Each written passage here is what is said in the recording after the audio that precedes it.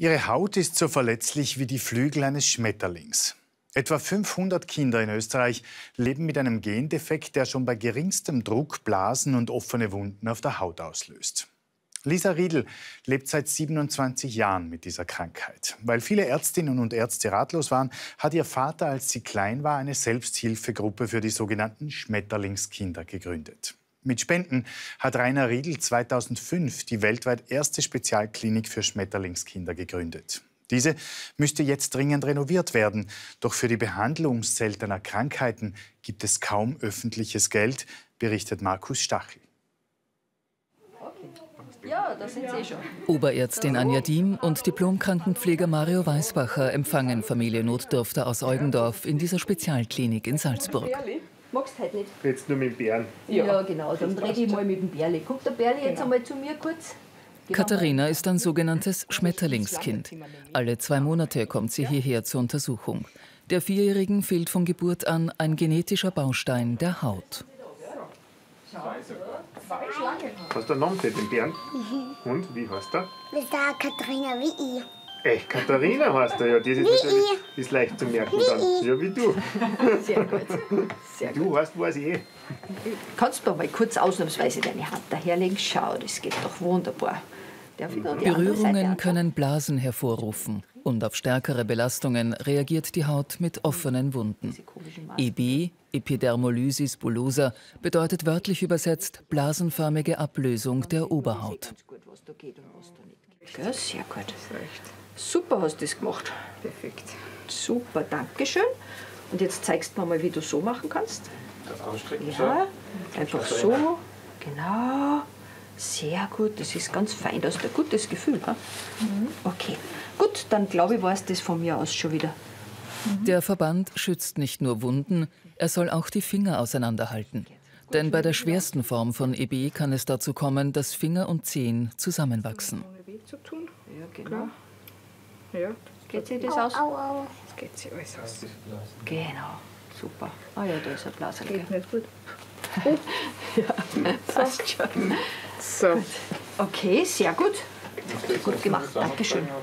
Bei der Katharina, die ja schon eine Augenoperation hinter sich hat, eine Zahnoperation mit ihren vier Jahren auch schon hinter sich, es, kommt, es geht halt immer weiter bedeutet, dass man immer wieder mit der Situation auch fertig werden muss. Also wenn sie die Finger krümmen, also man weiß von den Schreckensbildern oder von dem eben, dass ihre Form so schwer ist, dass es wahrscheinlich in die Richtung geht. Nur wenn es dann so weit ist, muss man das auch wieder verkraften. Und so verkraftet man einen Schritt nach dem anderen.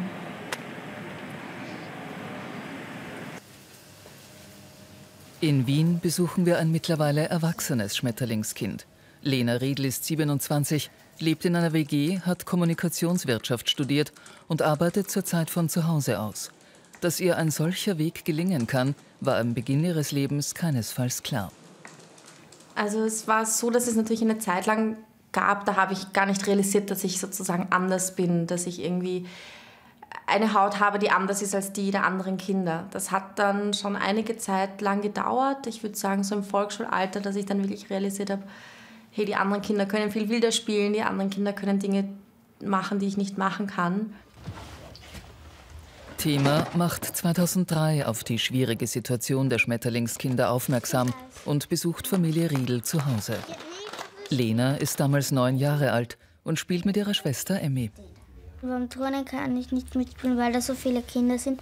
Es sind 43 Kinder, äh, 34, 33 Kinder und das sind dann so viele Kinder und dann, dann stolpern sie auch und dann fallen, falle ich hin und dann schlage ich mir die Knie auf und so.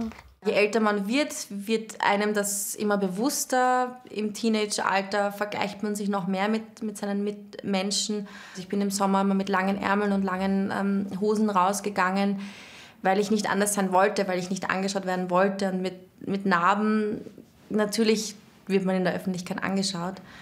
Und ähm, also es waren auch, waren auch solche Zeiten da, wo man sich natürlich fragt, warum ich und warum jetzt und warum Schmerzen.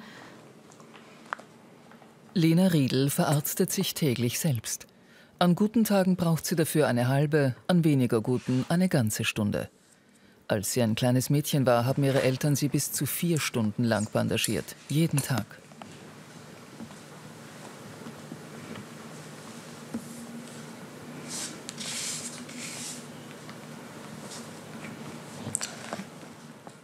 Rainer Riedel besucht seine Tochter.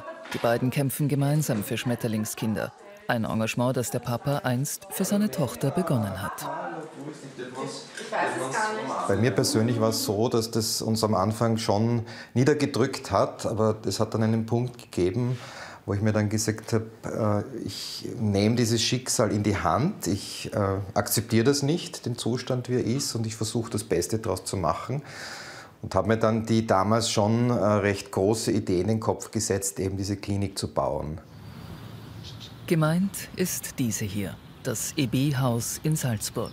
Vor 15 Jahren wurde es eröffnet, errichtet fast ausschließlich aus Spendengeldern. Zwei Millionen Euro hat Rainer Riedl damals gemeinsam mit Gleichgesinnten gesammelt. Zwei Jahre nach der Geburt seiner Tochter hatte er gemeinsam mit anderen Eltern die Selbsthilfegruppe Debra gegründet. Jahrelang sind Familien auf der Suche nach ärztlicher Hilfe gewesen. Da reifte der Gedanke, es müsse eine Klinik geben, wo alles Wissen über Epidermolysis bullosa gebündelt wird und Schmetterlingskinder bestmöglich behandelt werden können. Die heutige Leiterin der Ambulanz für Schmetterlingskinder, Anja Diem, war schon damals als junge Medizinerin mit dabei, noch bevor es das EB-Haus gab. Ja, das EB-Haus gibt es jetzt seit 15 Jahren. Ich bin selber seit 17 Jahren in dem Bereich tätig und habe angefangen mit einem Telefon und einem halben Quadratmeter Schreibtisch einer Krankenschwester, die mir gelegentlich geholfen hat. Der Weg von den ersten Behandlungen zur eigenen Klinik war weit. Jetzt soll das nächste Kapitel in der Geschichte der Schmetterlingskinder aufgeschlagen werden. Also was uns heute wirklich ganz bewusst geworden ist, wir hätten damals schon dreimal so groß denken sollen. Das haben wir uns nicht getraut. Wir hätten es tun sollen, weil es, was uns jetzt einfach ausgeht, ist der Platz. Das Labor müsste nach 15 Jahren dringend erneuert und erweitert werden. Dazu bräuchte man etwa 2 Millionen Euro. 2005 war das EB-Haus in Salzburg weltweit die erste Spezialklinik für Schmetterlingskinder. Bis heute ist es international führend in Behandlung, Forschung und Lehre. Diese Archivbilder zeigen Johann Bauer. Der heutige Universitätsprofessor widmet sein wissenschaftliches Leben ganz und gar der Suche nach einer Heilung. Wenn man als Arzt und auch als Forscher in der Wissenschaft arbeitet, ist man leider gewöhnt, dass äh, es lange dauert und dass es oft einmal ein Wissenschaftsleben überdauert, diese Forschung. Und daran habe ich mich schon gewöhnt, dass gewisse Sachen möglicherweise erst nach meinem Wissenschaftsleben passieren werden.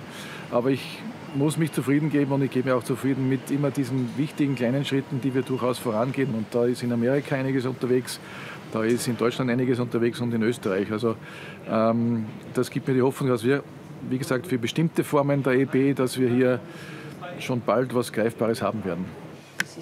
Zurück zur vierjährigen Katharina Notdorfter in der EB-Ambulanz. Kannst du die Zehen bewegen? Ja. Zeig einmal, zeig einmal. Uh, ja, das geht aber sehr gut. Du machst das gut du machst das gut. Aber eben damit das so geht, müsst ihr einfach weitermachen damit die mhm. Verbände. Gell? Wie umfassend die Hilfe heute für die Familien ist, macht Katharinas Mutter deutlich. Sehr schön. Dankeschön. Ja gut, im ersten Moment, also wie sie auf die Welt gekommen ist, da hat man sie erst nach ein paar Minuten gesehen, dass die Haut bei den Füßen, ähm, dass bei einem Fuß praktisch die Haut weg ist. Ähm, dann haben wir eh einige Stunden nicht gewusst, was los ist. Wir haben noch gewusst, irgendwas stimmt nicht. Am zweiten Tag sind schon die, ist schon das Team vom EP-Haus dagestanden, praktisch bei uns im, im, Krankenhaus. Ja, und hat uns eigentlich von da an begleitet. Wir haben gewusst, was ein Schmetterlingskind ist. Ähm, eben auch relativ bald gewusst, dass es bei der Katharina die schwerste der schweren Formen ist. Also ja, man hat da relativ schnell dann durch die Debra ähm, auch äh, andere Gleichgesinnte treffen können, auch Erwachsene, Betroffene. Ja, war, war eine ziemlich starke Zeit, wo man gleich am Anfang relativ viel auch gesehen hat. Ähm, auch Schlimmes natürlich. Ja, aber das EB-Haus war für uns natürlich am Anfang, jetzt im Nachhinein gesehen, ein Glück. Am Anfang hat sie Fingernägel noch gehabt, äh, die Finger noch frei bewegen können. Jetzt ist die Fingerbewegung schon eingeschränkt. Wir haben trotzdem auch äh, Physiotherapie ständig, ein bis zweimal die Woche und trotzdem schreitet es stark voran. Familie Notdürfter hofft darauf, dass im EB-Haus Salzburg den Forscherinnen und Forschern der Durchbruch zur Heilung gelingt. Denn schreitet die Krankheit voran, kann Hautkrebs die Folge sein. Deshalb werden hier auch Tumorzellen erforscht. EB betrifft nicht nur die äußeren Hautschichten, sondern auch die Schleimhäute bis hin zur Speiseröhre.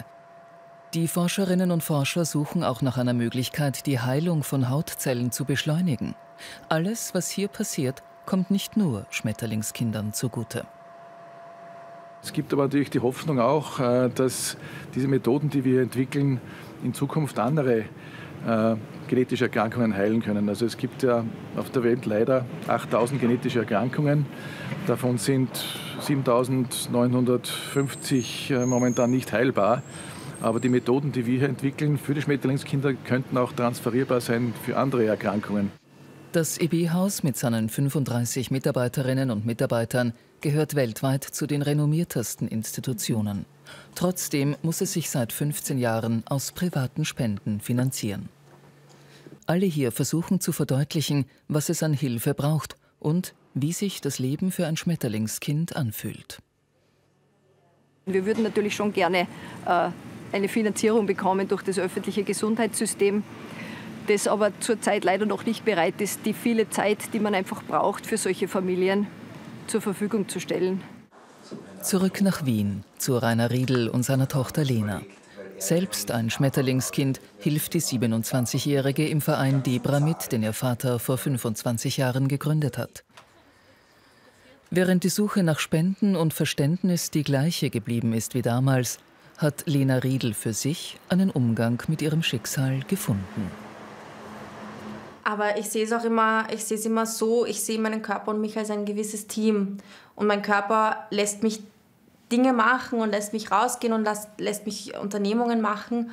Und im Gegenzug schaue ich einfach auf, meinem, auf meinen Körper und gebe meinem Körper das, was er braucht. Und wenn das ähm, heißt, dass ich am Abend eine Stunde lang ähm, verbinden muss und die, und die Wunden versorgen muss, dann, dann ist das ein, ein Preis, den ich gerne zahle.